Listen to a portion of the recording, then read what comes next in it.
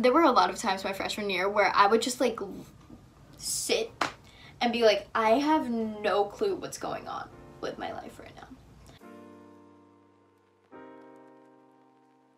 Hey guys, what's up and welcome back to my channel. So for today's video, we're going to be talking about all of the things that I did wrong freshman year of college.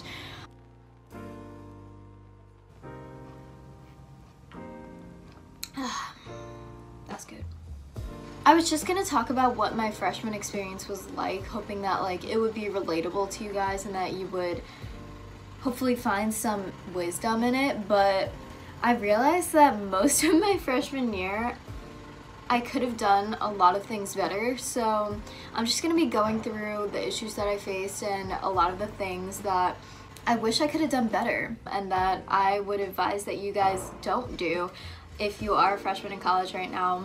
If you're not a freshman and you're in high school, then this will still apply to you because you guys will know how to tackle your freshman year. And if you guys are older, my age, or any older than I am, I'm a junior in college right now, then hopefully you guys will relate to some of the stuff that I might have done wrong. It was hard to adapt to college and college life and to know exactly the right path to take and what decisions to make and what to prioritize and everything. So for me, it was pretty rocky, but um, I'm not sure if all freshmen experience this, and I'm not saying that your freshman year is going to be like this if you make any of the choices that I made. I'm just saying that the combination of all the things that I'm about to say really left me in a place where going into my sophomore year, I had to make like a ton of changes. So, um, yeah, let's just get right into it. So the first one is that I entered college in a relationship. And that's not a bad thing. I know a lot of people that enter college in a relationship and that's like not a bad thing. Like don't get me wrong, don't go like breaking up with your boyfriend or whatever because I said that I entered college in a relationship and my freshman year was rough. Like the reason why it didn't work out that I was in a relationship it took a lot of the focus away from like my own life and into the relationship and the relationship became too big of a portion of my life to a point where it was unhealthy. And i feel like also when you enter college in a relationship like unless you're very good at prioritizing your time and knowing when to say no in a relationship and say like no I have other priorities right now especially when you miss that person it's really hard.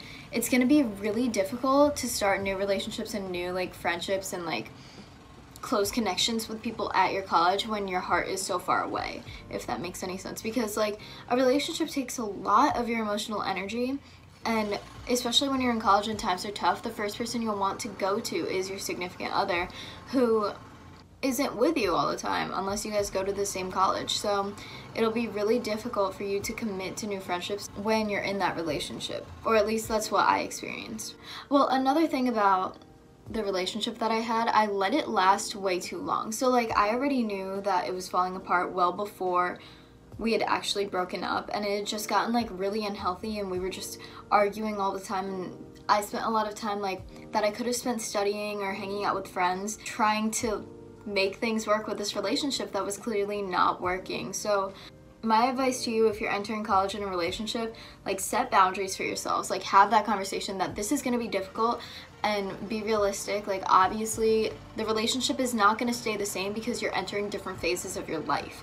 So figure out what's going to work. Like, okay, we're only going to call after all our classes and homework are done. Or we can, like, have dates on this days. Or we'll visit this time. Or whatever. Like, just set boundaries and make sure that you talk about how your relationship's going to change and make sure that you both want it to go in the same direction. Because if you have one idea of what the relationship's going to be like while you're in college and the other person has another idea of what the relationship's going to be like, that's just going to clash at some point and it's going to be really difficult because you're going to be managing your own life while also trying to manage this relationship at the same time.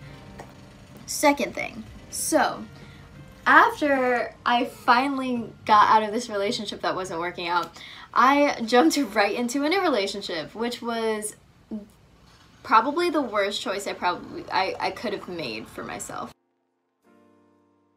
I got into a new relationship, and not only was that like dumb because I wasn't over the past relationship, it was dumb because the reasons why I broke up with my ex, I was blaming it on the distance basically.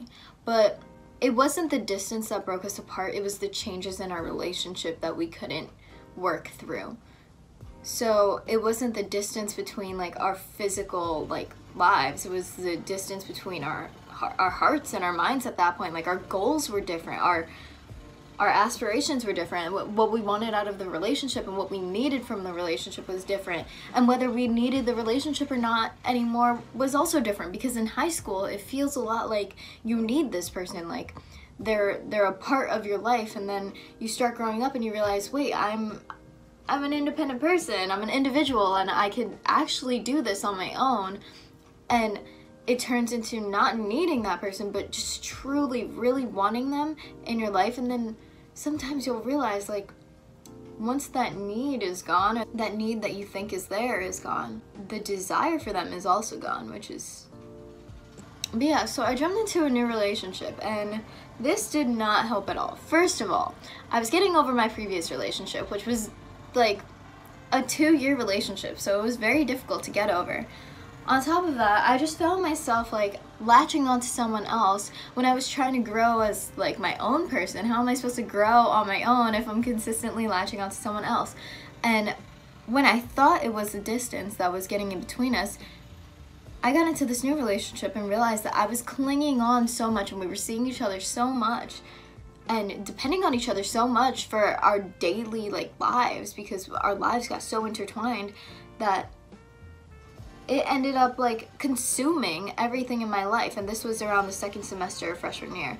So this relationship really ate up a lot of my friendships. I know i said like when there's distance you miss them and then you want to latch onto them more but when they're there all the time and they're available and you know their schedule, you know where they'll be, you know when they have lunch, you run into each other in the dining hall, you like see each other passing in classes, you just you get so latched on to that person that unless it's a very healthy relationship and you entered it in the right mindset and you're both ready and you're both stable when it comes to like academics and you're both like okay to like start this relationship, it can get very unhealthy very quickly and that's what happened to me. So this relationship ended up ending after a few months and to be honest I'm kind of grateful.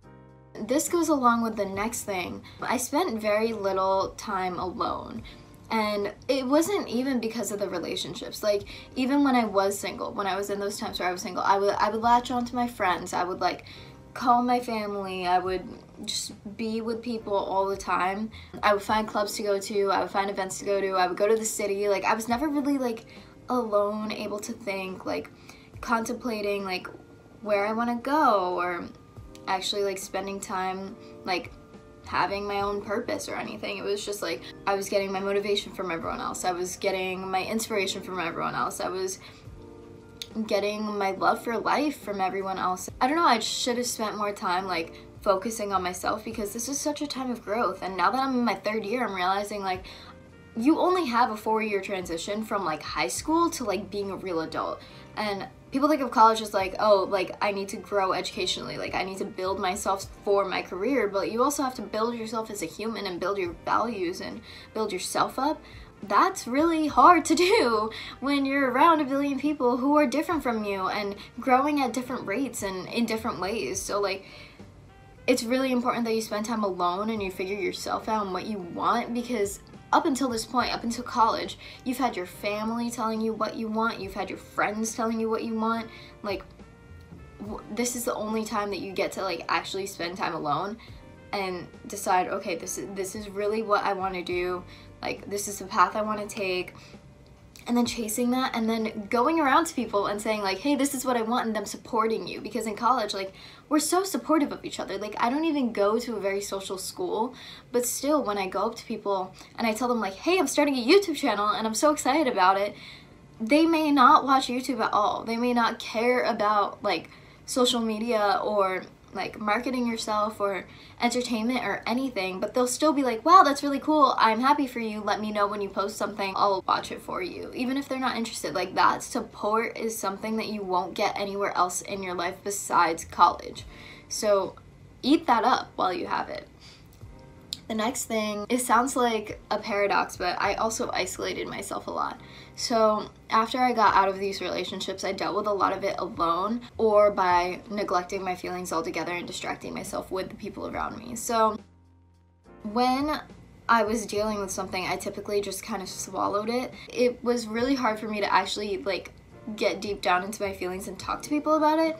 These are the things that led up to me feeling isolated and me feeling lonely and me having to build so many new relationships sophomore year and to rebuild the ones I had already made because I didn't actually get close with anyone.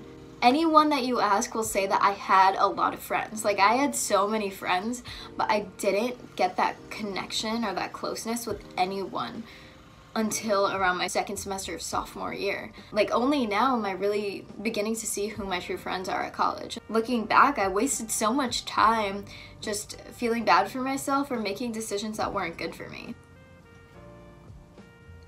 I didn't find a study space either. So, in high school, which I'm sure is the case for a lot of people, I didn't have to study that much. Like, when I did study, it was like reviewing the material or like reading an article that we read in class or rereading my notes or re-going through the PowerPoint of the prof- I mean professor, the teacher. Um, and then you get to college and you actually have to study. I didn't know how to study. I never learned how to study. I didn't know how to properly teach my mind how to retain information.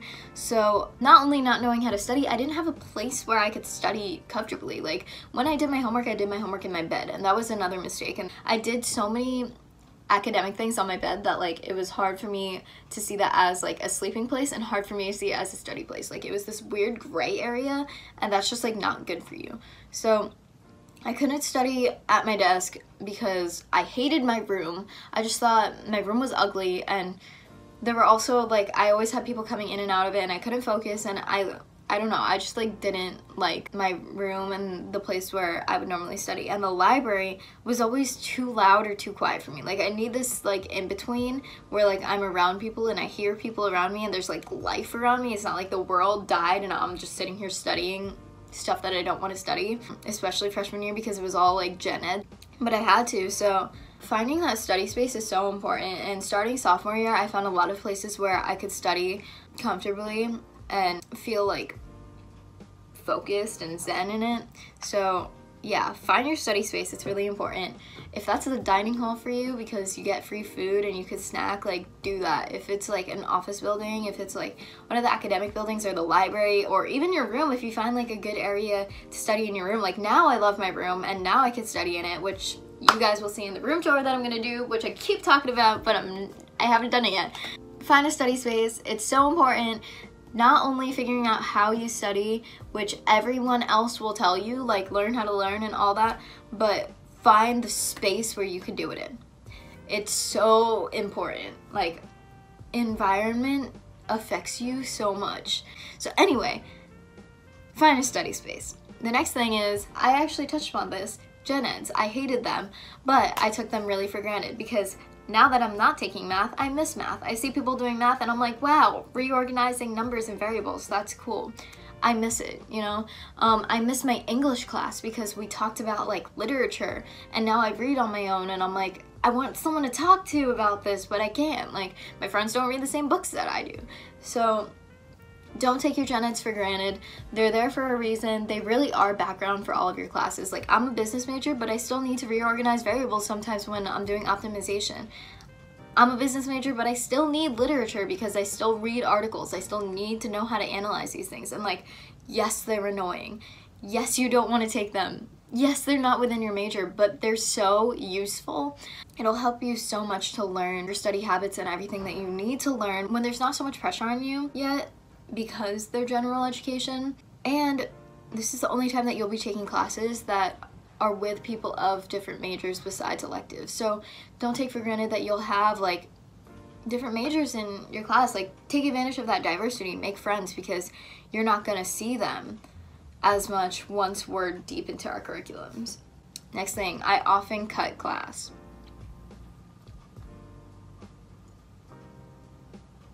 My mom's gonna yell at me for this one. Hey mom. Shout out to my mom who watches all of my videos and is watching this one right now and is probably gonna question me about everything that I'm saying right now. Anyway, what's up mom? Um, I often skip class. I did this like all the time. And now looking back on this, I'm like, what was I doing? Why was I doing that? I skipped more than was healthy for me. I didn't miss any material though. That's that's the thing. So the reason why I cut class was they were the gen eds and I hated them and I thought they were really easy. The problem with skipping class though is the lack of discipline. Discipline is so important in college. Time management is so important. If you're not doing a lot and you're not living up to your obligations, how do you manage the time? Because you'll just have unlimited time to do anything that you want. And let me tell you, as a freshman in college, that is not going to work out for you. Like, skipping class and having like unlimited time to do whatever you want with no structure is not going to work out for you. It just it wasn't healthy and it made me really depressed, which I'll talk about at some point in a different video because that's a whole other story. Um, but it really just has an impact on your life when you take all of the structure out of it because we're like as humans we're fairly structured people um, and even if you don't like routine you still need some structure to your day it's so important that you keep this structure and you go to classes because you're paying for it also or your parents are paying for it or someone's paying for it don't take it for granted because a lot of people don't have the opportunities that you have. But like literally, the majority of the world doesn't get to have the education that we get to have. Like if you're going to a university, you're already blessed as it is. So don't take that for granted. And keep that structure. It's good for your mental health. And when you need to skip class, always reach out to your professor. Always talk to them, let them know what's going on. Be honest with them because I've had days where I like literally email my professor, "Hey, I'm just overwhelmed today. I am to take the day off." And they'll be understanding and they'll always say feel better as long as you don't take this for granted. Again, like you you can't take advantage of professors. You can't take advantage of like the leeway that people will give you because they understand that college is hard. I didn't allocate time to do things that I enjoyed. So clearly I've fixed that problem. I have a YouTube channel now, I have a podcast, I have a blog, I'm very involved in clubs, I am constantly doing a bunch of activities. In the corner over there you can see a basket of yarn. I constantly knit things and make things.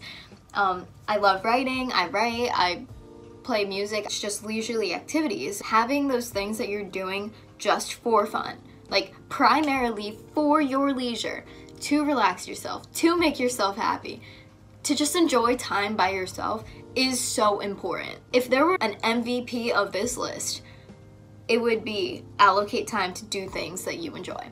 And the reason for this, it goes into everything else. Like, how are you supposed to manage your alone time when you're in a relationship and missing someone if you don't have things to do and you don't plan to do the things that you enjoy? How are you supposed to not be too clingy in a relationship that you've just started if you don't have things that you enjoy? What are you supposed to share with that person anyway if you don't have things that you enjoy? What are they supposed to like about you if you don't have things that you enjoy? What is there to get to know about you? You know, like there are stories about you, but what's in the present? What are you right now? Create yourself using the things that you enjoy when you're spending time alone. Like it forces you to spend time alone if you have things that you do alone. It forces you to not feel isolated because you're actually doing something. You're not just laying in bed being like, I feel so sorry for myself because my friends are too busy for me right now. Of course they are. We're all college students. Like I could make a whole very like sassy video about this, but like it took me a really long time to realize that yes, my friends are too busy for me. We're all in college. I'm too busy for them too. And if I'm not too busy for them, I'm doing something wrong. And we'll make time for each other. It should be making time for each other. It shouldn't be like, I have so much free time. Where are my friends? Do things that you enjoy. If you allocate time for it, you are not going to feel like skipping class to do something you enjoy. I know a lot of my guy friends freshman year, they would skip class to play video games because they had no other time to play video games and they're like, this class is useless, so I might as well skip it to play video games. Spend the time that you're supposed to spend doing leisurely activities and spend the time you're supposed to spend in class doing class things. So like allocate your time in a way where you're doing the things you're supposed to be doing in the times where you're supposed to be doing it. Be present where you are, when you are, and only go to a place if you're to be present there. but also like know your commitments if that makes sense. Like there's a balance. Find your balance. Um it's hard. It's really hard.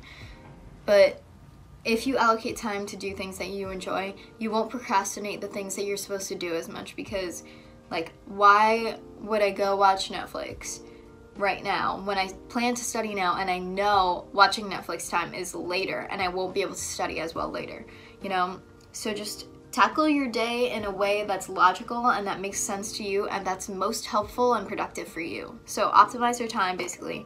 Um, but while you're optimizing your time, make sure that you take time to yourself to do the things that you enjoy. There is nothing more important than allocating time to do things that you enjoy. There's a lot of parts of college that are difficult, that are stressful, that will push you into a mental health hole. Find those things and dig you back out of it because there are a lot of people struggling out there right now. There are a lot of people in college that are struggling daily. The suicide rates of college students has skyrocketed in the past like decade.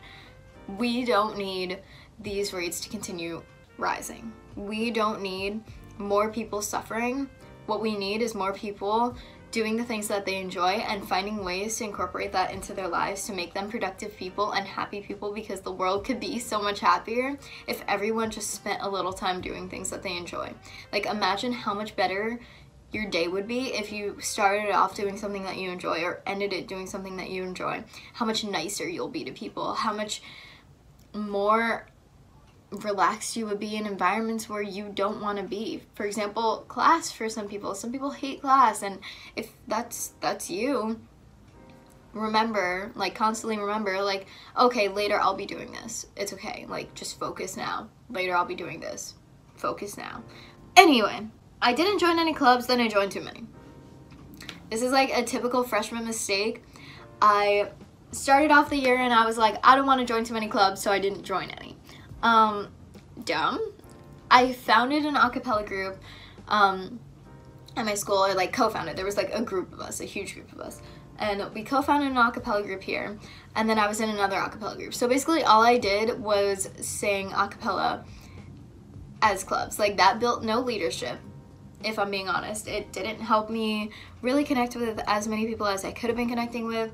And then after that, I realized all of that and then joined like 5,000 clubs and I was overwhelmed, obviously. So, um, just tips for that. Join only things that you're truly interested in. Don't be afraid to say no. Don't be afraid to later say, hey, I thought I'd be interested in this, and it turns out that I'm not, because people do that all the time. And the last bullet point, I did not take care of my physical health. So, my like internal health fell apart. Like I had chest pain all the time because like anxiety was so high. Couldn't eat because I was so stressed. And then I was overeating. I was just tearing apart my physical body and I would go to the gym and I would work out and that was the first time that I actually really started going to the gym. But I didn't have fitness goals that were realistic. I didn't know what I wanted out of going to the gym. I would just kind of go because everyone went. That's good coffee and yeah, overall, like I just didn't take care of myself and I was eating like actual garbage. And I ate so much of the fried crap that they made, like french fries, and they always had chicken nuggets, and they, like, when your mom's not making you food, or when, like, your family's not watching what you're doing, you end up not realizing the crap that you're putting into your body. And that's what happened to me. I just felt my physical health deteriorate, and like I wasn't practicing any type of self-care at all. Like my skincare routine was non-existent. My like just my life was just so unhealthy and I would take the elevator even if I was going to the second floor. Like I wouldn't walk up the stairs and I, just, I don't know I don't know what it was. I think part of it was like the me feeling bad for myself for like hating my classes and like not having friends that I felt were like stable. Like not that they were unstable people, but like the friendships were unstable and like I just think that like the combination of all of those things made me just a very negative and unhappy person and I spent a lot of my time like kind of just like grudging around like ugh another day another like day at college, another day with the friends that I have, another day with like the life that I'm living. I don't know, I just like was stuck in this wormhole of like everything sucks. And this happens to a lot of people, and I think a lot of it comes from imposter syndrome, which I think I'm to be making a whole podcast episode about, so I'm not to talk too much about imposter syndrome right now, but basically what it is is where you feel like at the school that you're at, you didn't deserve to get in, or that you're just like living in someone else's shoes and you're not able to be your full self. Imposter syndrome is so real, and it's so important to catch yourself, but we will talk about that in another video because this video is way too long. Thank you guys for watching this video. I hope that you enjoyed it and I hope that it was helpful to you. Leave in the comments down below if any of this related to you or if this helped you out at all. I hope that your freshman year is or was way better than mine was and I hope that you learned a little bit from this or got something out of this. If you enjoyed this type of content, give this video a like so that I know to make more of these types of videos. Other than that, I will see you guys all in my next video.